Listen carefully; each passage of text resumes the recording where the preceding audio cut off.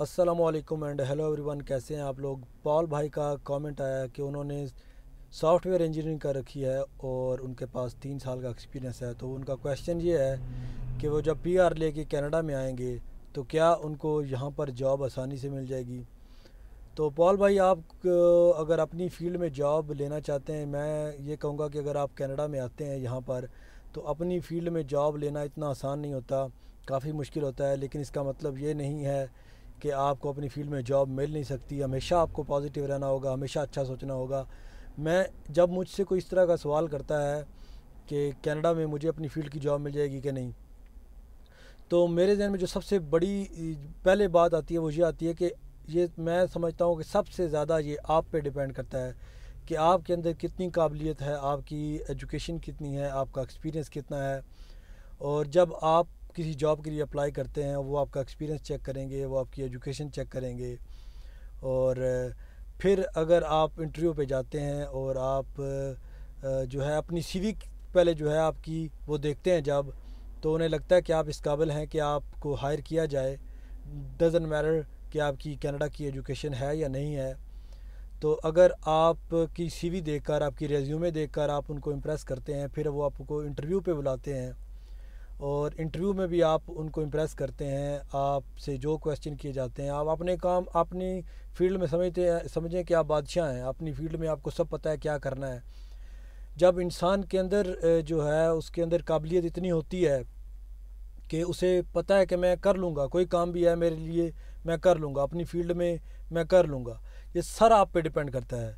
लेकिन ओवरऑल अगर मैं बात करूँ, अगर आपके अंदर वो काबिलियत है, अगर आप चाहते हैं कि मैंने अपनी जॉब लेनी ही है, अपनी फ़ील्ड में तो इन आपको जॉब ज़रूर मिलेगी। आप अपनी फ़ील्ड की जॉब जो है वो ले लेंगे कनाडा में। क्योंकि कुछ मेरे दोस्त ऐसे थे, पता होता है, इंसान का पता चल जाता है। मेरे एक दोस्त थे और पाकिस्तान में थे, उन्होंने इधर आना था और मैं यकीन करें, वो जब वहाँ पे थे पाकिस्तान में तो मैं उस वक्त भी यही कहता था कि वो जब मेरा दोस्त यहाँ पर आएगा, उसको अपनी फ़ील्ड की जॉब मिल जाएगी। क्यों?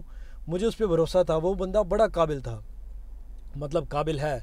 और वो मेरा दोस्त जब यहाँ पर आया और यकीन करें, तीन महीने बाद, पहले उसने एक महीने बाद एक छोटी सी जॉब की, तीन महीने बाद उसको गवर्नमेंट की ज़बरदस्त किस्म की जॉब मिल गई। तो ये सारा आप पे डिपेंड करता होता है, लेकिन ओवरऑल आपको बताऊँ कि थोड़ा सा मुश्किल होता है यहाँ पर कनाडा में अपनी फ़ील्ड की जॉब लेना। और ज़्यादातर और जॉब भी मिलती हैं तो आप कोशिश करते रहें। जब तक आपको अपनी फ़ील्ड की जॉब नहीं मिलती तो उतनी देर ये है कि आपको कोई भी जॉब मिलती है कनाडा में तो आप वो जॉब करें और साथ साथ अपनी जो है वो ट्राई करते रहें। क्योंकि कनाडा में कई दफ़ा ऐसा होता है कि आपको पहली जॉब बड़ी मुश्किल से मिलती है तो ऐसी पहली जॉब जिस तरह की भी मिले, आप आप करें। अपने घर का ख़र्चा चलाएँ, अपना सिस्टम चलाएँ, एक दफ़ा आप आहिस्ता आहिस्ता सेट हों।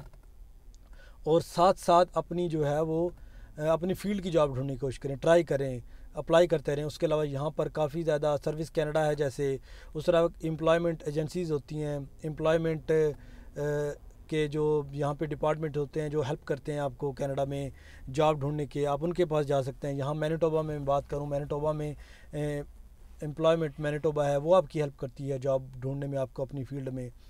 तो अगर इंसान कोशिश करे तो क्या हासिल नहीं कर सकता। तो सब आप पे डिपेंड करेगा। बाकी अल्लाह आपको कामयाब करे, जॉब आपको इंशाल्लाह मिल जाएगी, आप जिस दिन कनाडा आएँगे तो टाइम लग सकता है। और कई दफ़ा ऐसा होता है कि आपको अपनी फ़ील्ड में जॉब लेने के लिए थोड़ी सी एजुकेशन भी हासिल करनी पड़ सकती है। तो आप वो देखें कि क्या आपको वैसे ही जॉब मिल जाएगी, पहले वैसे ट्राई कर लें। अगर आपको लगता है, नहीं यार, कि मैं जहाँ पे भी जाता हूँ, हर कोई मुझसे कनाडा का एक्सपीरियंस माँगता है या कैनेडियन एजुकेशन माँगता है तो फिर आपको कोई छोटा मोटा कोर्स करना पड़ेगा साल का, दो साल का, जो आपको अच्छा लगे तो वो आपने अपने डिसीज़न खुद बनाने हैं। बाकी ये है कि यहाँ पर अगर आपके पास कनाडा का एजुकेशन है, आपको आपके पास कनाडा की और कनाडा का एक्सपीरियंस है तो of course it does matter तो उसके अलावा भी आप कोशिश कर सकते हैं। अल्लाह पाक आपको कामयाब करें। तो चले, मैंने आपके लिए वीडियो बना दी। तो इन उम्मीद है कि आपको इस वीडियो से काफ़ी इन्फॉर्मेशन मिली होगी। अपना ख्याल रखिएगा और दुआ में याद रखिएगा। टेक केयर अल्लाह हाफिज़।